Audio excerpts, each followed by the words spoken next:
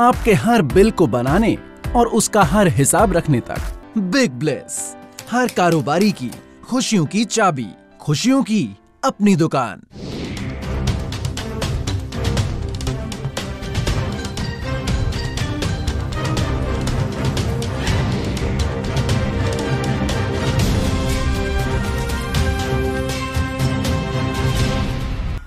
नमस्कार।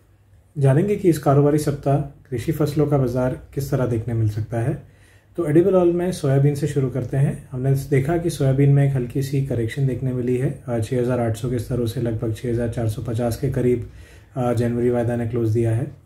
ऐसा लगता है कि एक अप एंड डाउन मूवमेंट हमें कुछ समय और देखने मिल सकते हैं यानी एक दायरे में बाज़ार रहेगा। जो दायरा 6,200 से लेकर 6,800 का हो सकता है। अगले हफ़्ते में शुरुआती दौर में हो सकता है हम 6,300 के करीब प्राइसेस को जाता हुआ देखें।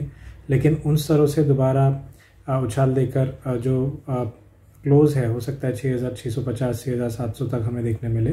तो ये जो दायरा है ये ब्रॉडली 6,200 से 6,800 तक का होगा ऐसा मेरा मानना है। और आने वाले दो से तीन हफ़्ते इसी दायरे में प्राइसेस ट्रेड कर सकती हैं जिसके बाद हमें दोबारा सात हज़ार के ऊपर के स्तर जो हैं वो देखने मिल सकते हैं। तो लंबी अवधि में अभी भी मेरा मानना है कि सोयाबीन में तेज़ी है। लेकिन शॉर्ट टर्म बेसिस ऐसा लगता है कि एक रेंज बाउंड मूवमेंट हमें देखने मिल सकती है। वहीं हमने C P O refined soy oil दोनों में ही हल्की सी गिरावट के साथ क्लोज होते हुए देखा। रिफाइंड सॉयल करीबन 1200 के आसपास और सी पी ओ ग्यारह सौ के करीब क्लोज दिया है प्राइजेस ने। लेकिन यहाँ से आगे चलते हुए इमीडिएट डाउनसाइड थोड़ा लिमिटेड लगता है। ग्यारह के आसपास रिफाइंड सोयल का एक अच्छा सपोर्ट है। वहाँ से एक बाउंस बैक देने की संभावना है 1215 से 1220 तक के बीच। वहीं सीपीओ में एक हज़ार अस्सी जो पिछले एक महीने से होल्ड कर रहा है, वो मुझे लगता है होल्ड कर जाएगा। और अपसाइड में दोबारा हमें आने वाले दो हफ्तों में करीबन 1130 के स्तर देखने मिल सकते हैं। वहीं अगर हम मसाला कॉम्प्लेक्स की बात करें तो हमने खास करके धनिया में एक तेज़ी के साथ क्लोज होते हुए देखा है 8,600 के भाव पर जनवरी वायदा। और ऐसा लगता है कि 8,400 से 8,300 का एक इंपॉर्टेंट सपोर्ट है जब तक ये बैंड होल्ड कर पा रहा है। हमें दोबारा 9,000 के ऊपर के स्तर देखने मिलेंगे। तो शॉर्ट टर्म बेसिस 8,500 से 8,400 के बीच अगर कोई डिप आती है तो 8,300 के नीचे के स्टॉप लेकर बाई किया जा सकता है और नौ हज़ार के करीब के short to medium term target लिए जा सकते हैं। वहीं जीरा जनवरी वायदा में सोलह हज़ार एक सौ के करीब की क्लोजिंग है। इंपॉर्टेंट सपोर्ट पंद्रह हज़ार छः सौ से पंद्रह सात सौ के बीच आता है। तो यदि सोलह हज़ार के नीचे भी दाम मिलते हैं तो वहाँ पर बाइंग पोजिशन बनाई जा सकती है। कुछ समय के लिए मुझे लगता है कि पंद्रह हज़ार छः सौ से सोलह हज़ार पाँच सौ तक का एक दायरा होगा। तो इमीडिएट तौर पे अगर हम सोलह हज़ार के नीचे दाम देखते हैं तो वहाँ से दोबारा सोलह पाँच सौ तक जाने की संभावना है।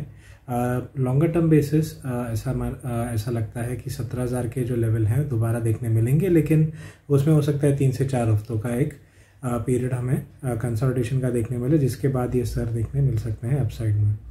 वहीं ग्वार कॉम्प्लेक्स में हमने देखा कि जनवरी वायदे में जो ग्वार सीड है, वो पाँच हज़ार आठ सौ के ऊपर का क्लोज देने में कामयाब हुआ। वहीं ग्वार गम में दस हज़ार तीन सौ पचास के करीब की क्लोजिंग आई है। तो ऐसा लगता है कि जो 5600 के रिसेंट लोज हैं, वो बाज़ार होल्ड कर चुका है। और एक शॉर्ट कवरिंग मूव बनती है जो 6200 तक ग्वार सीड को नियर टर्म यानी नेक्स्ट दो हफ्तों में लेके जा सकती है। वहीं पर ग्वार गम में मुझे लगता है कि हमने 9500 तक के स्तर भी देखे हैं और एक शॉर्ट कवरिंग मूव ड्यू बनती है जो इसे करीबन 10800 से 11000 तक लेके जा सकती है। तो इमीडिएट तौर पर ग्वारगम ग्वार सीड में बाइंग का रिकमेंडेशन होगा। वहीं कैस्टर में हमने देखा एक दायरे में कारोबार हुआ है। छः हज़ार चार सौ के करीब की क्लोजिंग आई है। कैस्टर सीड जनवरी वायदा छः हज़ार दो सौ पचास के ऊपर अब भी पॉजिटिव लग रहा है। पोजिशनली छः हज़ार का एक इंपॉर्टेंट सपोर्ट है। उसके ऊपर अभी भी तेज़ी के आसार हैं। हालाँकि शॉर्ट टर्म बेसिस यानी दो से तीन हफ्तों के लिए ऐसा लगता है कि 6200 से 6800 का एक दायरा होगा। क्योंकि हम दायरे के निचले स्तरों के आसपास है तो यहाँ से ख़रीदारी का माहौल बन सकता है। और अगले हफ़्ते के लिए हो सकता है हमें 6600 तक के दाम मिले। और आने वाले दो से तीन हफ्तों में 6800 के आसपास के लेवल मिल सकते हैं। वहीं बेनोला खल या कॉटन सीड ऑयल केक में 2700 के ऊपर की क्लोजिंग दी है जनवरी वायदा ने। और ऐसा लगता है कि 2800 के ऊपर के स्तर हमें जल्दी देखने मिलेंगे। तो 2650 से 2670 के करीब अगर दाम मिलते हैं तो वहाँ पर बाइंग पोजीशन बनाई जा सकती है। अपसाइड में 2820 और उसके बाद लगभग उनतीस के लेवल भी देखने मिल सकते हैं। एम सिक्स कॉटन में तीस हज़ार के करीब से एक रिकवरी देखने मिली है, इकतीस हज़ार दो सौ के करीब क्लोज दिया है। ऐसा लगता है कि एक हल्की सी डिप शुरुआती दौर में देखने मिल सकती है, तीस हज़ार आठ सौ से तीस नौ सौ तक। वहाँ पर बाइंग की सलाह होगी और अपसाइड में ऐसा लगता है कि इकतीस हज़ार आठ सौ से बत्तीस हज़ार तक के स्तर जो हैं वो दोबारा देखने मिलेंगे आने वाले एक हफ़्ते से दस दिन के अंदर। तो एम सिक्स कॉटन में भी डिप पे बाइंग की सलाह होगी। तो ये था एक जायज़ा आने वाले हफ़्ते और short to medium term basis agri commodities में क्या रुझान रह सकता है? धन्यवाद। जम्मू कश्मीर से कन्याकुमारी तक, अहमदाबाद से अगरतला तक। बिग ब्लेस हर कारोबारी की, खुशियों की चाबी, खुशियों की अपनी दुकान।